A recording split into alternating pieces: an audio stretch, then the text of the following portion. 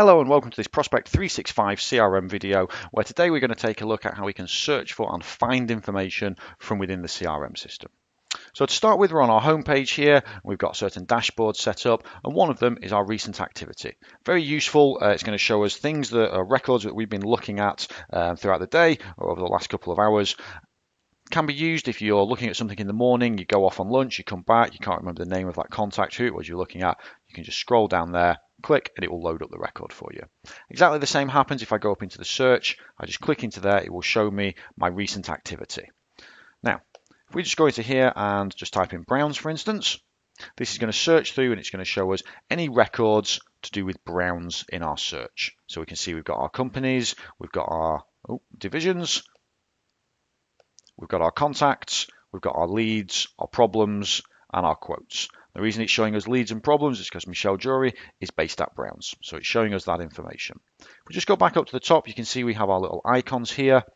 And if I unselect company, it's now only going to show me divisions, contacts, leads, problems, quotes, etc. So it's a great way to filter and narrow down that particular search that you've just done.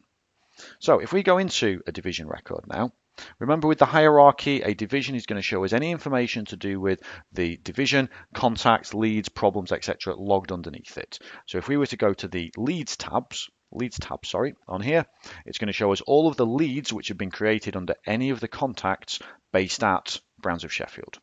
So there's quite a lot of information here. Just scroll down, lots of leads that we've had logged. So one way I can change the how I'm viewing this information, I can filter it, I can sort it just by clicking on these column headings so we can change it uh, numerically, um, alphabetically, etc. Another thing that we can do, anytime you see this spyglass, allows us to search. So I know we've been working on a new project. For these guys, I just type in new project and it's going to return and show me the new project that we've uh, that we've logged with them. Okay, and if I just delete that, just do a blank search, it's going to return it back to normal for me. So very, very useful. We did this underneath the leads, but again, you could do it on problems, on quotes, on documents. Anytime you see that spyglass, very useful to help pinpoint and find that bit of information you're after. Now, if we just jump over into uh, contacts for a moment, and we're going to load up Michelle Jury's contact record here. So on a contact record, we have the activity uh, section. So this displays to me all records which we've added to the system um, underneath this particular contact. So again, quite a lot of information going on there. So again, up at the top, we've got our search icon, so we can search through the notepad to find specific words or phrases which are going to be helpful for us. But also, you see, we've got these little star icons. So I can tag a note with a little star as being useful or as being important for us. Okay, and also if I go to actually enter some text and add a reply, so I can pop a note in. Very important.